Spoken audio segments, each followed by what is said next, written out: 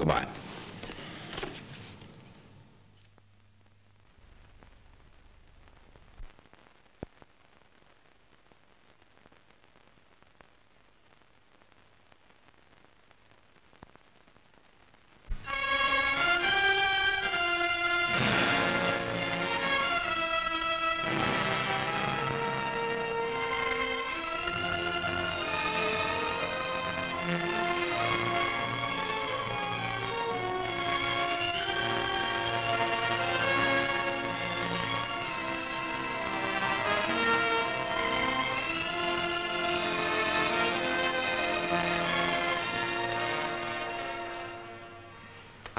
Many viewers recognize this picture. She is a princess, and she is supposed to have been murdered in 1918. And yet she is still the central figure in one of the most baffling and romantic mysteries of the century. She is the Grand Duchess Anastasia, the youngest daughter of Tsar Nicholas II and the great-granddaughter of Queen Victoria. She and her family were imprisoned in August 1917 by the revolutionary Bolshevik government in Siberia. One summer morning in 1918, the whole family, together with their servants, were ordered down into the cellars of their house, and there they were mowed down by rifle fire, their bodies pierced with bayonets, and then burned in a mine shaft. But did Anastasia die? That is the great unsolved mystery, and on its solution depends the fate of 10 million pounds, which the late Tsar deposited in British banks to provide dowries for his four daughters. Since 1922, strange stories have circulated among the white Russian exiles that Anastasia lives, that although she suffered frightful injuries and spent years in mental hospitals, she did not die in that terrible morning massacre on July the 17th, 1918. Today there lives in Germany a woman who claims to be Anastasia, who carries the scarred wounds that Anastasia might be expected to bear if in fact she did not share the fate of her family, and whose hand carries the three-cornered scar that might have been inflicted by a Russian bayonet. And it is said with reliable evidence that Anastasia was stabbed through the hand by a Russian soldier. Material for drama or the stuff of truth? Who knows? Such a story couldn't fail to appeal to the writers of fiction, and in 1953 it appeared as a television play, later that year on the stage. The authors added to the dramatic facts a brilliant piece of fiction. A group of conspirators, led by the ex-general Bunin and his aide Chernov, seek out a woman who can pass for Anastasia so that they can lay claim to her vast fortune. They find a woman in Paris on the verge of suicide who is so convincing that she might almost be Anastasia. But perhaps she is. In bringing this story to the screen, 20th Century Fox have assembled a very fine cast. Anastasia is played by Ingrid Bergman, Bunin by that wonderful new star, Yul Brynner, Helen Hayes, the leading lady of Broadway, plays the Dowager Empress of Russia, and Akim Tamiroff plays Chernov, Bunin's aide. And now we're going to take you behind the scenes to see a little of the effort and skill that goes into the making of a picture of this character. The action of the film opens in Paris, and the unit went out on location to the banks of the Seine. As the cars will suggest to you, the period of the story is 1928. Once the camera was in position, the stars, Ingrid Bergman and Yul Brynner, receive final instructions from the director, Anatole Litvak, while a group of gendarmes stand by. As you all know, films are very rarely shot in their sequence, and this scene, although it was the first to be made, is not the opening shot of the film. It is where Anastasia is first seen by one of Bunin's men as she walks towards the river with thoughts of suicide in her mind. As Ingrid Bergman walks across, Litvak watches the action through the camera, which is following her movements on the track.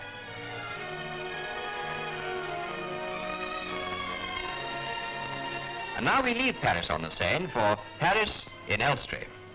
One of the main scenes in the film is set outside the Russian church in Paris.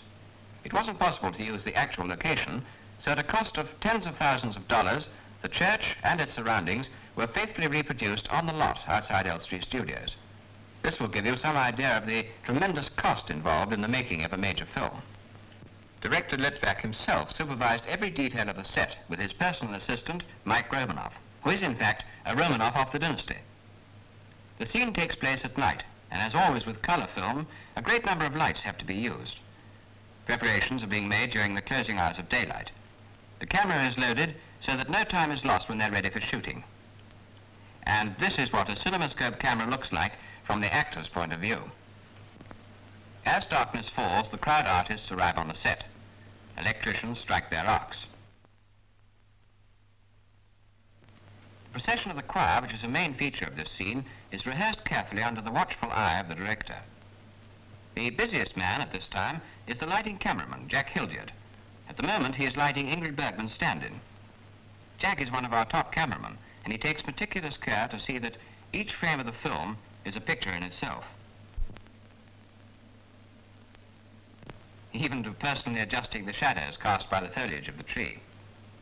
In the meantime, the sound operator adjusts his equipment, and the set is now fully lit. Now, you may remember in the Paris scene, the streets were wet, but for once in England, it was a fine night, so the firemen had to use their hoses to match up. While all this is going on, Litvak checks up on his camera angles, and the makeup men get to work on the scores of extras. The long hair and beards traditionally worn by dignitaries of the Orthodox Church are quite a problem for the hairdresser. Assistant Director Jerry O'Hara meanwhile places each member of the crowd into position. A great deal of research was made to ensure that all the details of apparel and procedure of the Easter Day service are faithfully reproduced. Many of the crowd artists are in fact white Russians who remember the terrible days of the revolution. One of the major problems for Dave Aylott, the chief makeup man, is to make the lovely Ingrid look haggard. As you can see, she submits to it with great patience. Incidentally, when this film was shown in New York, the critics gave her the award for the best actress of the year. While her makeup is being adjusted, her stand-in is in position, and the assistant camera operator checks on his focus.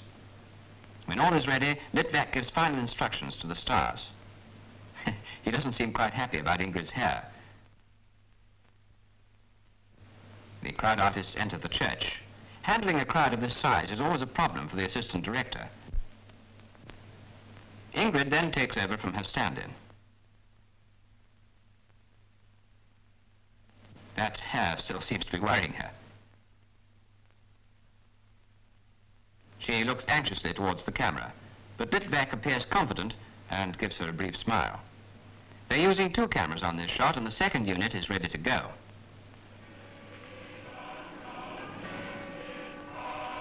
As the procession winds its way down the steps, the cameras roll.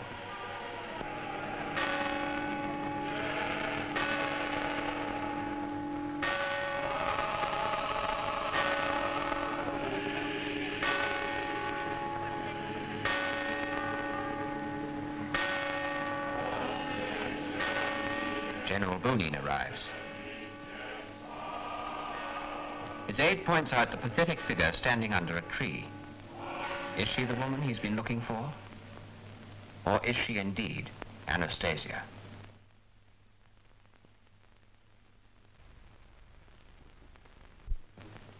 I wonder if you realize that those exterior scenes, though they took months to prepare and days to shoot, only run for two or three minutes on your cinema screen. Now, while the artists and the technicians have been busy working out of doors, a vast army of skilled workmen have been getting the interior sets inside the studio ready. Plasterers, carpenters, electricians, property men, set designers, all working together to provide the lavish backgrounds which are needed for the next two sequences. Now, the first set, which we're going to show you in a moment, is the bar of the Opera House in Copenhagen. And to get this set ready, hundreds of photographs were taken so that the set designers could get a replica which was true in every detail. But the work on the sets is only part of the work which has been going on. Uh, dress designers and costumiers have been busy preparing the hundreds of uniforms, dresses and costumes for the stars and, of course, for the extras. On the stage the next morning, all is ready for shooting.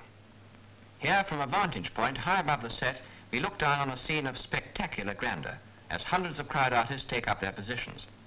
In order to get them ready in time, the makeup and hairdressing teams have been hard at work since 7 that morning. Director Litvak lines up his first shot of the day, while his assistant director rehearses the extras. Jack Hildyard once again sets his lighting plan. The director checks on the dialogue with that invaluable person, the continuity girl. A few final touches of makeup and last-minute instructions are given to the extras. Ingrid refreshes her memory from the script before the final rehearsal of the scene where she meets her supposed childhood sweetheart, Prince Paul, played by Ivan Desny. Akim Tamiroff plays Chernov, one of Bunin's chief conspirators. Ingrid is looking really her most beautiful, very different from the haggard woman we saw outside the church. She turns to meet Prince Paul.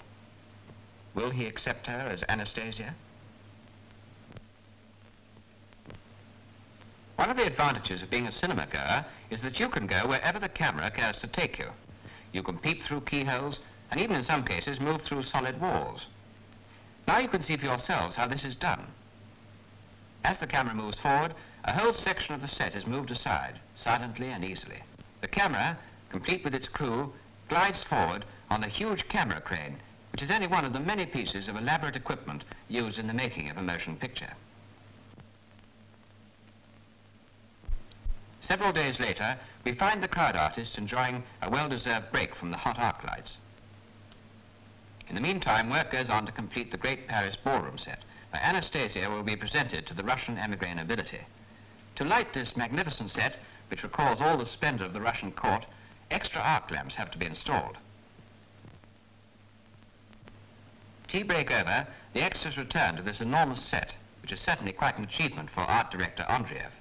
Apart from the clever construction, it is most beautifully dressed with tapestries, chandeliers, and statuary.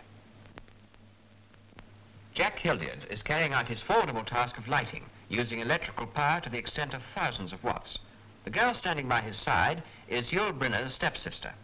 And as the artists take over from their stand-ins, we see the beautiful gown which was designed for Ingrid Bergman by the famous dress designer Balenciaga. The scene is now set for the great ball which Anastasia and Prince Paul open. As the waltz begins, the camera turns.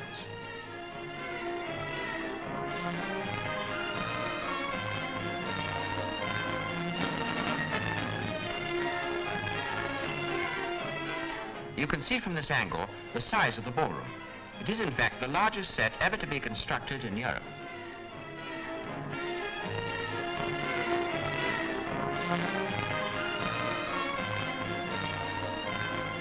Now here is another shot in the same sequence. The camera tracks in high over the heads of the watching crowd in order to pick up the stars in a closer shot.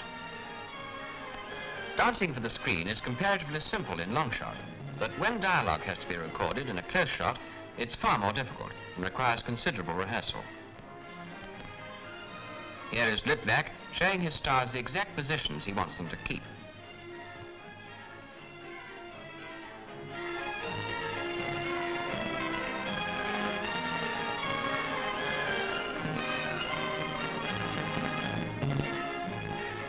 Now you can see why it's so important for them to keep to their rehearsal positions, because the camera has to follow their movements across the floor on a camera track. Even the crowd artist's movements have to be most carefully timed and directed. This is one of the many jobs of the assistant director, Jerry O'Hara. As Ingrid dances to the gracious strains of the waltz, one more scene of Anastasia is, as they say in the studios, in the cab. Of course, you've only seen a very small part of the making of this film. It was years in the preparation and months in the shooting. But perhaps now you have some idea of the large numbers of skilled people who are involved in producing a film of this kind, to say nothing of the artistic and technical difficulties to be overcome. All these talents have combined to complete the film. And now it is up to you, the public, to judge whether they've been successful.